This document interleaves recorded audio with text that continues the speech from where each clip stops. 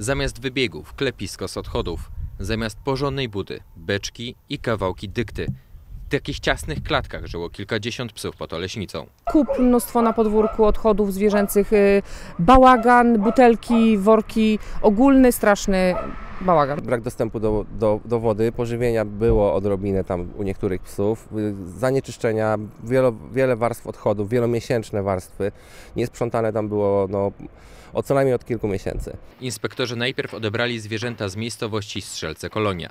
Dwa dni później dotarł do nich informacja o kolejnej hodowli w Nowej Wsi Goszczańskiej. Obie należą do tego samego właściciela, Radosława B. kilkanaście psów, y, które również są w warunkach urągających wszelkim normom. Pomoc przyszła w ostatniej chwili. Na terenie posesji wolontariusze odkryli martwe psy, dorosłe i szczenięta. Podjęli decyzję o odbiorze wszystkich zwierząt, które wymagały natychmiastowej pomocy. Codziennie jeździmy ze zwierzakami na obdukcję.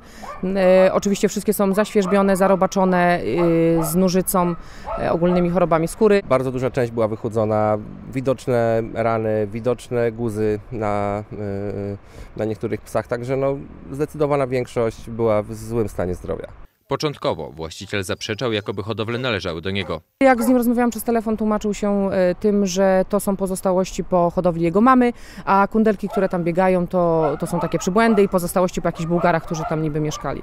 Później zdanie zmienił. Potwierdza, że to jest jego hodowla, według niego było wszystko w porządku. My jako policja y, zbadamy wszelkie okoliczności tego zdarzenia, y, zobaczymy czy będą przedstawione zarzuty w stosunku do tej osoby. Właściciel zwierząt przybywa w areszcie, ale nie ma to związku ze sprawą nielegalnej hodowli. Osoba ta nie zapłaciła grzywny do, innej, y, do innego toczącego się postępowania. To fabryka psów, komentują obrońcy zwierząt, a właścicielowi zależało wyłącznie na masowej sprzedaży i szybkim zysku. Ze śledztwa wstępnego, które przeprowadziliśmy, y, okazało się, że mm, większość psów była wywożona do Niemiec i sprzedawana tam jako psy rasowe, rodowodowe. Jedno szczenie wyceniano nawet na kilka tysięcy euro. Teraz potrzebna jest pomoc. Wolontariusze proszą o karmę, leki, smycze oraz obroże, a przede wszystkim szukają nowych domów i opiekunów dla czworonogów. Echo 24, Mateusz Czmiel.